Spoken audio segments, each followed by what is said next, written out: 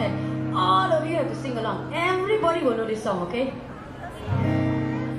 Why you trying to make me leave ya? I know what you're thinking. Baby, why aren't you listening? Come along.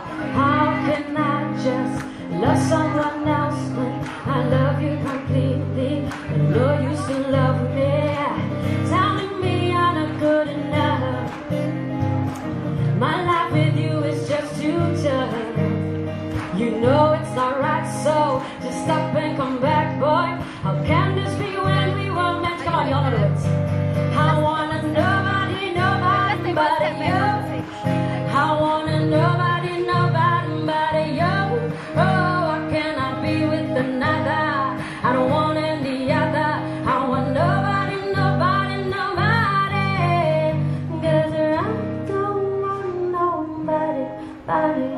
And I don't want nobody.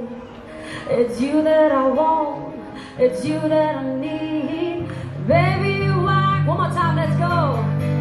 I want a nobody, nobody but you. I want a nobody, nobody but you. Oh, I cannot be with another. I don't want any other. I want nobody,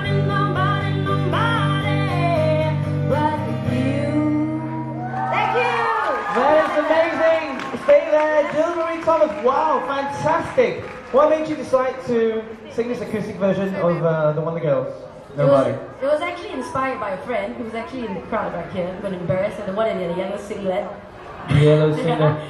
And So she- it's, it's you. Yes. it's your doing. She challenged me and said, you know, do an acoustic version of Nobody and see whether people like it, and I did it. Fantastic. You sounded great. Now, what I want to ask you is, um, we've had Singapore Idol three seasons already. Why made you decide to take part in one moment of glory and not something like Singapore Idol?